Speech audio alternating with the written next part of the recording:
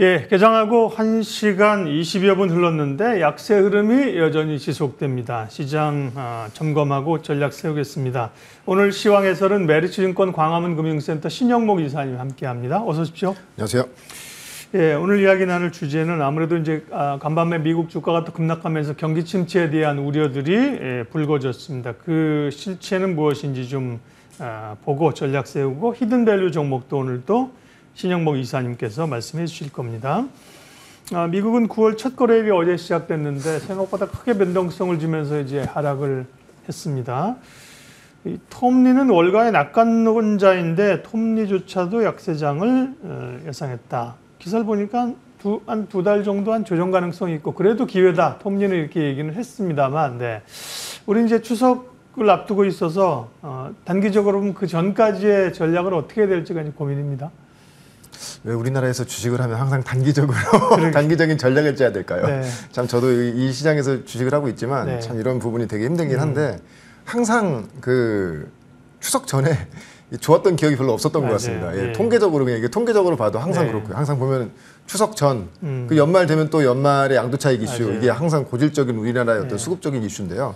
일단 그 추석 전에 어떤 그 추석 연휴에 대한 어떤 영향도 분명히 받는 것 같고 굉장히 심리가 약한 상태에서 뭐 엔비디아라든지 이런 기술주들이 빠지니까 더 크게 반응하는 건데 근데 우리가 좀 이럴 때일수록 너무 이 어떤 뭐 panic sell이나 이런 거에 동참하지 마시고 좀 우리가 냉정하게 생각하면 미국의 주식들은 지금 현재 보면은 8월 5일 블랙먼데이 이후에 주가가 어느 정도 대부분 다 회복을 했다가 많이 올라온 상태에서 이제 좀 조정받는 그런 국면으로 들어간 거거든요. 그러니까 네. 아마 당분간 주가가 안 좋다고 예상하는 그런 어떤 그 예- 예측들도 뭐냐면 여기서 더 이상 이제 나스닥이 신고가를 치고 갈 만한 모멘텀이 없다라고 생각을 하는 것이죠. 그러니까 닫혀 있다는 닫혀 있는 시장에서 결론적으로는 어 당분간 그 새로운 신고가를 내기 위한 모멘텀이 나오기 전까지는 어떤 종목이라든지 지수 자체도 박스권으로 간다는 전 그런 의미로 좀 해석을 하고 있고요. 네.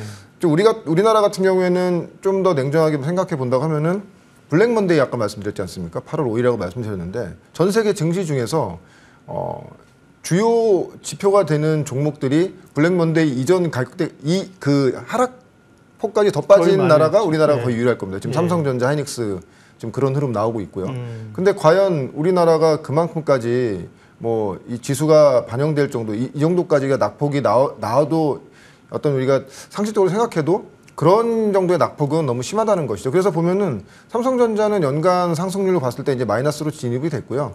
하이닉스도 이제 거의 대부분 다 반납된 이런 상태이기 때문에 그러니까 대신에 이런 건 있습니다. 뭐냐면 매도 먼저 맞는 게 좋다고 항상 보면은 미국 증시가 어떤 조정 국면이 왔을 때 우리나라가 항상 선조정으로 먼저 조정을 받았고요. 물론 낙폭을 더 크게 조정을 받았죠. 그 이후에 미국 증시가 어, 박스권에서 이제 횡보를 할 때 오히려 우리나라 어, 주- 주식들이 좋아지는 그런 현상이 나온 상태이기 때문에 저는 어, 매크로한 부분으로 봤을 때는 뭐 하반기까지는 IT가 안 좋은 걸 다 예상 예상한 걸 이미 가격대에 지금 반영된 상태고 거기에 수급적으로도 어떤 이슈 때 수급적인 이슈 때문에 왜냐면 8월 5일에 그때 이제 신용 신용 물량도 양시장 거의 1조씩 2조가 털리는 이런 사정, 사정에서 최근에 또 신용 물량들이 뭐 많이 늘어난 건 아니거든요. 그러니까 수급적으로 큰 불안함은 없다. 그러니까 센치가 되게 안 좋을 뿐이지 어, 수급적으로는 사실은 주가의 어떤 조정폭과 종목들을 봤을 때는 이제 접근해도 되는 구간이라고 저는 물론 이제 어떤 섹터냐 어떤 산업이냐에 틀리겠지만 어, 오히려 매도보다는 매수세에 가담해야 되는 그런 구간으로 판단하고 있습니다.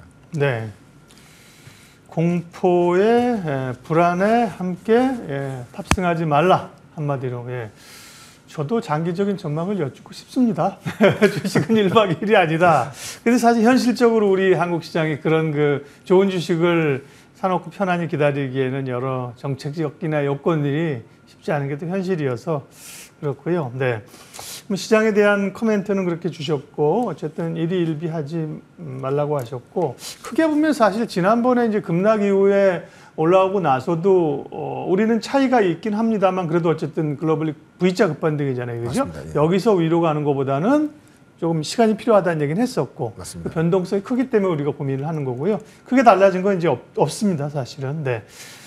자, 그러면 시장을 둘러싸고 있는 이슈들을 좀 보면요. 최근 국내 증시는 뭐 바이오가 좋았고 2차 전지에 대한 흐름도 좀 좋아지고 있고 그런 상황이고요. 자동차에 대한 기대감도 있는데 폭스바겐이 경영난으로 대거 구조. 야 옛날에 폭스바겐은 참 대단한 우리가 차고 싶 타고 싶은 차 아니었습니까? 근데 이제 그때 디젤 게이트 뭐 이런 게 나오면서 좀 내상을 입더니만 굉장히 어려운 거 봐요. 그러면 현대 현대 기아차에는 반사이익이 있는 건가요? 아 근데 그랬으면 참 좋겠는데 네. 이 폭스바겐이 지금 구조 조정을 하고 공장 폐쇄하는 게 현대차의 점유율이 올라오면서 만약 그런 현상이었다면 음. 아마 현대차가 strong buy가 됐겠죠. 네. 왜냐면은 지금 3위 정도 globally하게 한 3위 정도 되는 위치가 2위로 올라간다는 거. 특히 이제 자동차 업계에서, 업계에서 그거는 어떻게 보면 엄청난 사건이거든요. 음. 그렇죠. 근데 네. 사실 지금 표를 준비한 표를 한번 보시면 아시겠지만 폭스바겐의 지금 고전의 이유는 그냥 지금 보시는 장표 하나로 보시면 모든 게 다 끝날 것 같습니다. 뭐냐면 폭스바겐이 중국에서의 매출이 한 전체 매출에서 한 30% 정도가 아직 나고 있는 상태고 중국 지금 전기차가 굉장히 빠르게 올라오고 있습니다. 근데 이제 그 중에 보시면 아시겠지만 전기차 전기차가 지금 충분히 나오고 있는 상태에서 오히려 수출까지도 지금 굉장히 빠르게 되고 있다는 것이죠. 그래서 이 표는 뭐예요? 그러니까 중국 전체입니까 아니면 폭스바겐 겁니까? 중국 전체입니다. 중국 전체, 내수 예. 중국 내수에서 팔고 있는 승용차와 상용차가 음. 지금 수출되고 있는 수치인 거죠. 이미 국내 지표는 이미 대부분의 지금 어, 내연기관 차들을 거의 몰아낼 정도로 빠르게 수치가 올라오고 있고요. 파란 게 쭉쭉 늘어나는 게 중국이 승용차를 수출하는 게 그만큼 늘고 있다 이거군요. 맞습니다. 승용차 정확하게는 전기차죠. 네. 음. 그래서 사실 근데 이 우리가 피부로 느끼질 못하고 있어요. 왜냐면은 네. 그렇죠. 지금 이런- 중국 차 별로 맞습니다. 없으니까. 그게 딱 세 나라가 있습니다. 음. 우리나라와 일본과 미국이 음. 중국 전기차가 얼만큼 지금 잘 만들어지고 빠르게 이 시장을 침투하고 있는지를 모르고 음, 있는 유일한 세 나라라고 하더라고요. 왜냐하면 워낙 뭐, 뭐 미국엔 테슬라가 있고 네. 일본 뭐 도요타가 있고 우리나라는 현대차, 기아차가 있기 때문에 못 느끼는데 지금 결론적으로 우리가 어떤 소비가 줄고 경기 침체가 되면 결론적으로는 이 가성비 좋은 차를 원할 수밖에 없거든요. 근데 지금 실질적으로 중국에서 수출하고 있는 차들이 굉장히 가성비 좋은 차들이 나오다 보니까 유럽에서도 지금 시장 점유율이 빠르게 늘고 있고 지금 보면 아마 국가별로 봤을 때도 지금 과연 어, 중국처럼 지금 보면은 거의 한 전체 수출 비중의 전체 자동차 판매 대수의 한 5%에서 6%까지도 이미 지금 중국이 수출로 점유하고 있는 상태이기 때문에 그 전에 보시면 아시겠지만 거의 뭐 수출이 거의 없다시피 하지 않습니까? 근데 네. 빠르게 급격하게 늘어난 걸 본다고 하면은 중국 전기차의 지금 점유율을 뺏기고 있고 중국 내수에서는 역시 중국 전기차의 그 내수 시장도 내주고 있기 때문에 폭스바겐이 그렇게 좀 약간 이 구조조정이 단행할 수밖에 없는 것이고요. 근데 어떻게 보면 이게 이것이 보면은 현대차, 기아차에게도 음, 하나의 경종을 울릴 수 있는 그런 뭐 사건이 될 수가 있겠죠. 왜냐하면 네.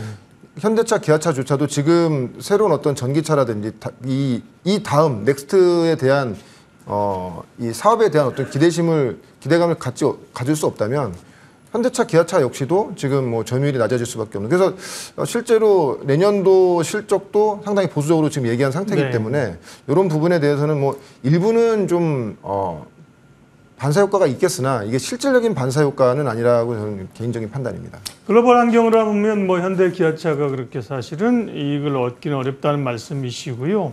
그러면 자동차 이야기를 한 김에 우리가 이제 value up을 얘기할 때 가장 대표적으로 수혜받는 쪽을 금융주, 지주사 그리고 이제 자동차도 한때 얘기를 좀 하지 않았습니까? 어, 그런 어, value up 관련해서는 자동차의 국내 모멘텀은 음, 좋게 보세요. 어떻게 보세요? 우리가 지금 value up을 하면 지금 사실 처음에 value up 얘기 나왔을 때 엄청 시장이 되게 hot하지 않습니까? 네. 뭐 PBR 이제 뭐 1배, 2배 얘기 나왔고 했는데 근데 실질적으로 이제 value up이 거의 아마 value up 관련돼서 정책이 이제 한 9월, 10월, 9월쯤 이번 달쯤 나올 수 있는데 아마 거의 한 9차에서 10차 정도 이제 논의가 되면서 이제 어느 정도 다듬어서 나올 것 같은데 사실 우리가 value up 생각하면은 대부분 어, 금융주를 생각을 많이 하세요. 특히 이제 금융주들 역시도 value up에 굉장히 좀 적극적인 그런 행보를 보여왔고.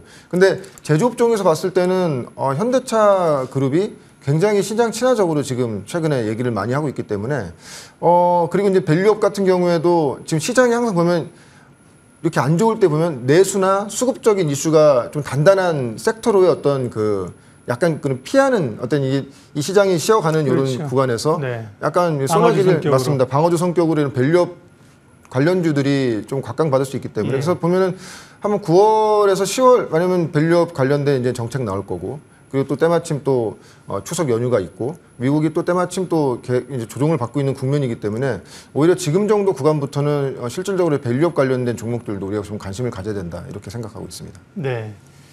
그런 쪽에서 보면 어, 자동차들도 어, 기회가 좀 있다는 말씀으로 들립니다. 그러면 자동차에 대한 지금 view는 어, 긍정적이세요? 그럼 뭐 자동차 쪽에서는 어, 어떤 기업을 볼- 볼까요? 사실 어, 산업적으로 보면 네. 아까 방, 지금 방금 전에 보여드렸던 그 폭스바겐의 위기가 현대차, 기아차의 위기가 당연히 될 수밖에 없거든요. 그렇죠. 그 도요다도 마찬가지고요. 네, 네. 그래서 지금 그럼에도 불구하고 뭐 오늘 말씀드릴 종목이 이제 현대차와 현대차 우선주에 대해서 말씀드릴 건데 네. 지금부터 봐야 되는 가장 큰 이유는 어 value가 뭐 value up 관련돼서 최근에 이제 인베스터 데이, CEO 인베스터 데이에서 밸류업 관련된 어떤 시장의 청사진을 얘기를 했는데 상당히 시장에서 굉장히 호응할 만한 그런 내용들이었고요.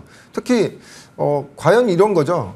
우리 개인 투자가들은 대부분 아마 뭐 저를 비롯해서 어 성장주 그러니까 기업이 계속적으로 성장하는 회사를 사서 그 성장과 함께 주가도 성장하는 그런 어떤 그림을 항상- 원하죠. 예, 그런 네. 모델로 항상 우리가 이제 투자를 하는데 외국인의 입장은 다르다, 다르다는 것이죠. 음. 당연히 성장주도 원하지만 음. 안정적인 거, 워낙 큰 자금이 들어오기 때문에 그 안정적으로 가기 위해서는 주가도 안정적이어야 되고 일단은 value도 좀 쌓아야 되는 것이고 특히 무엇보다 중요한 것이 오랫동안 들고 있는 동안에 배당. 자기가 예 그거에 대한 어떤 뭐 배당이라든지 자사주 소각이라든지 음. 가만히 있어도 그러면 자기의 주식의 value가 올라가는 사실 근데 우리나라가 이 부분에 대해서 특히 이제 뭐 어, 10대 그룹도 이런 부분에 대해서 굉장히 미진했는데 최근에 보면은 현대차 기아차가 먼저 그렇게 했고요 현대차가 이번에 어, 어, CEO Investor Day에서 얘기했던 이런 내용들이 향후에는 외국인들이 굉장히 선호할 만한 이런 내용들을 지금 얘기를 많이 했다 이렇게 생각을 하고 있고요.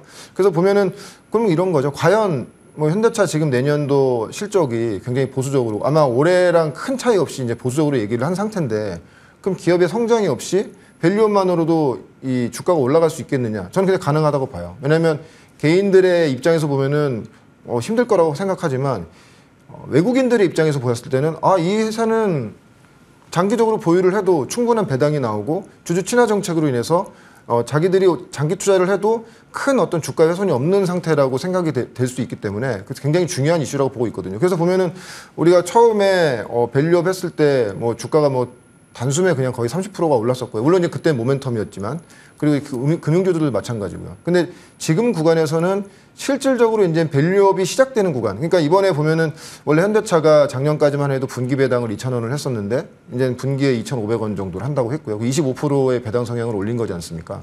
그리고 자사주도 지금 4조 이상을 자사주를 어, 취득한 이후에 소각하겠다 얘기하고 있고 그러면 뭐 들고만 있어도 그만큼 value가 올라가는 그런 상태인 거고요. 그래서 현대차는 어, 산업적으로 보면은 뭐 이 새로운 어떤 뭐 전기차라든지 스마트카로 변환이 지금 원활하게 이루어지지 않는다고 하면은 지금에서 성장에서 막힌 단계에 있겠지만 여기 이제 밸류업이 지금 이제부터 가세가 된다고 하면은 향후에는 굉장히 좋은 흐름이 나올 것으로 예상하고 있다. 그래서 그런 사례들을 지금 말씀드리자면은요. 지금 잠, 잠시 장표 보여드리면 네. 아, 준비된 자료가 잠시만요. 네. 자동차 얘기를 오늘 하고 있고요. 현대차 뭐 자동차에서는 가장 뭐 우리가 부품주는 음, 부품주부터 자동차를 얘기하니까요. 예, 그런 어, 아 혹시 네. 준비된 예, 네네. 준비 아 예, 요거 네. 지금 화면 보시면 되는데 실제로 기아차와 도요다, GM이 과거에 자사주 매입을 하면서 기업 가치를 상승시켰을 때 주가의 지금 흐름입니다. 네. 실제로 기아차 같은 경우에도 자사주를 매입했을 때 음. 5천 원 매입했을 때 주가가 많이 올랐고요. 그 이후에 또 자사주를 쳤을 때 주가 행보하다가 또 자사주를 매입했을 때 또 주가가 올라갔던 사례가 있고요. 또 뭐 그 다음 화면 보시면 네. 기아차뿐만이 네. 아니고 음. 도요타 역시도 음. 자사주를 매입했을 때 결론적으로는 외국인 시각에서는 이러한 어떤 우리나라를 대표하는 대표 업종이 어, 시장 친화적인 정책을 썼을 때 매수로 판단한다는 것이죠. 그래서 지금 보시면 그 자사주를 매입한 기간 동안에 valuation이 올라가는 이런 효과도 있을 거고 당연히 주가가 올라가면 valuation이 올라가기 때문에 그렇게 된다고 하면은 현대차 역시도 아마 10월 정도에 이제 아마 9월에 구체적인 어떻게 자사주를 할지 얼마의 규모를 할지 자사주의 내용이 나올 것인데 그러면 지금 주가가 오히려 자사주 발표한 이후에 주가가 조정받는 구간이기 때문에 이게 9월에서 10월, 9월에 얘기하고 10월 정도부터 자사주 매입이 시작된다고 하면은 지금부터는 이제 모아가도 되는 그런 구간이라고 보고 있습니다. 그래서 네. 어, 자사주가 시작되는 시점부터 자사주가 언제 언, 언제 끝나겠지만 그 끝나는 시점까지가 저는 모멘텀 구간이라고 보고 있고 우선주를 말씀드린 가장 큰 이유는 기업 입장에서는 같은 돈을 투입을 해도 자사주 매입의 효과를 높일 수 있는 정책을 쓸 가능성이 높거든요. 현대차와 현대차 우선주를 봤을 때 우선주와의 계리율이 거의 30%가 되기 때문에 예. 현대차 입장에서는 똑같은 돈을 투입해서 더 많은 주식을 살 수 있는 우선주 매입도 상당히 좀 어, 적극적으로 갈 수 있다. 근데 과거에 보면은 2015, 13년도에서 15년도에 삼성전자가 자사주 매입을 했을 때 같은 정책을 썼어요. 그러니까 전체 뭐 만약에 1조를 산다고 하면은 보통주를 1조를 다 산 게 아니고 비율을 나누거든요. 뭐 6대 7대 3이나 6대 4 정도로 우선주를 배정을 주는데 그때 당시에 삼성전자 우선주의 주가가 괴리율이 거의 본주와 이제 좁혀지는 그런 현상이 나왔기 때문에 어떻게 보면 그것도 val- value-up이지 않습니까? 그래서 현대차 입장에서는 아마 뭐 본주와 우선주에 대한 비율을 아마 이제 뭐 조만간 발표를 하겠지만 그에 따라서 우선주의 우선주와 본주의 어떤 주가의 괴리 괴리도 이번 자사주 매입을 통해서 많이 줄여질 수 있, 다고 보고 있고 그래서 만약에 그냥 아 복잡하게 생각하기 싫으신 분들은 본주를 사시면 됩니다 현대차 우선주를 네. 사시면 될 것 같고요 좀더 어, 이 주- 어떤 주가 상승의 어떤 폭을 좀 더 기대하시는 분들은 음. 우선주를 하셔도 저는 좀 좋은 그런 구간으로 좀 판단하고 있습니다. 예. 그러면 이제 이사님 생각하는 현대차의 그 생각하시는 가격 레벨은 어느 정도입니까? 일단 뭐 목표가는 자사주 매입 구간을 감안했을 때 목표가는 29만 원이고요. 손절가는 22만 원 정도를 잡고 아마 이제 조만간 그 자사주 매입의 구체적인 어떤 그 청사진이 나올 겁니다. 그런 일정을 보면서 이제 그때부터 매입을 시작하시면 좋을 거로 예상하고 있습니다. 네. 오늘은 뭐 시장 흐름과 함께 어, 이 신영목 이사님의 히든밸류 종목으로 자동차, 현대차 얘기를 했습니다. 메리츠증권 광화문 금융센터 신영목 이사님 함께했습니다. 고맙습니다. 고맙습니다.